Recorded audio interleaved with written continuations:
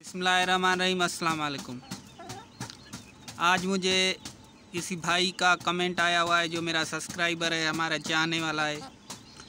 तो वो पूछता है, भाई, ये मुर्गियाँ कितने अंडे देकर फिर कुड़क होती हैं? तो एक बात मैं आपके साथ शेयर करता जाऊँ तो मुर्गियाँ जो होती हैं, उसका हर नस्ल का एक होता है।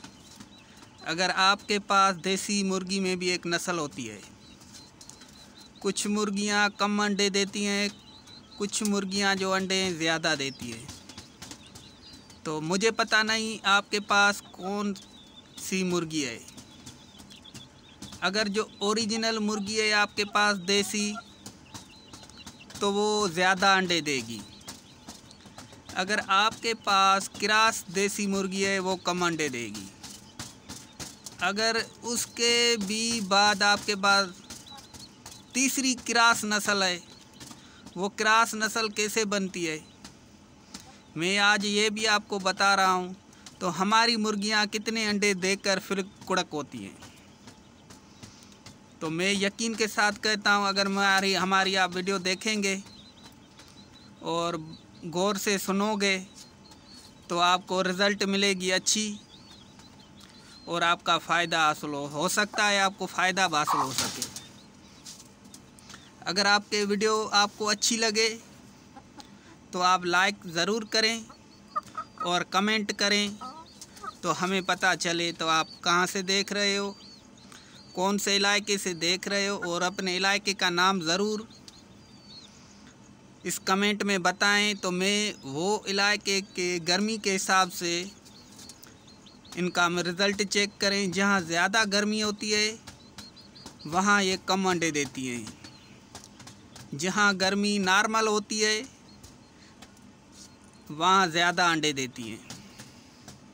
तो सवाल बनता है ये ये कितने अंडों पे कुड़क होती है?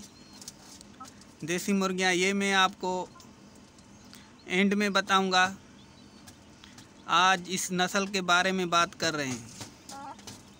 तो देसी मुर्गी कितने अंडों पे कुड़क होती है? तो ये इस तरीके से आपके पास मुर्गी है। आप इसकी साइज़ चेक करें। साइज़ चेक करें और इसका ताज चेक करें। और जो इसके ये ये है देसी चीनी मुर्गी। ये आपको पता है, ये जो आप कलर इसका देख रहे हो, ये देसी चीनी मुर्गी है।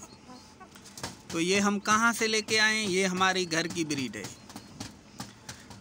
तो मैं आज आपको बताने वाला हूँ तो आप ऐसी मुर्गी रखें नस्लदार, जो अंडे ज़्यादा दे और खाने पीने की चीज़ों का इसका बहुत अच्छे से ख्याल रखें।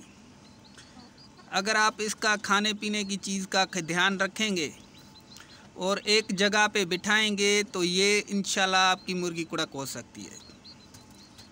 अगर अंडे आपकी किसी कोने में दे रही है तो ये वहाँ ही कुड़क होगी, दूसरी जगह पे कुड़क नहीं हो सकती।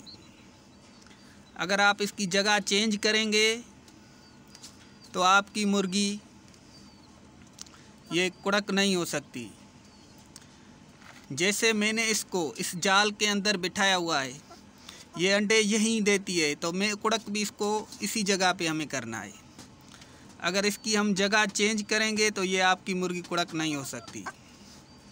क्योंकि ये कुड़क बहुत कम लोगों के पास होती है। मेरा प्रूफ आपके सामने सारी वीडियो मेरे चैनल पे पड़ी हुई। तो भाई साहब ने कमेंट किया था, ये कितने दिनों में कुड़क होती है। तो ये जो हमारी मुर्गी है, देसी। देसी जो ये हमारे पैंतालीस अंडे देती है, पैंतालीस अंडे के बाद हमारी कुड़क होती है। अगर पैंतालीस भी दे सकती है, चालीस भी दे सकती है। और ये जो हमारी देसी मुर्गी है, ये पचास अंडों के बाद कुड़क होती है।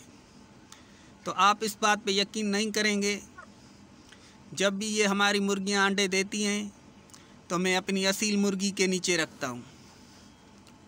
कुछ अंडे अपनी पहले वाले अंडे जो होते हैं, मैं अपनी असील मुर्गी के नीचे रखता हूँ। बीस अंडे या पंद्रह अंडे अपनी असील मुर्गी के नीचे रखता हूँ। अगर जब यह कुड़क होती है, दूसरे अंडे मैं के नीचे रखता हूँ। ठीक है भाई?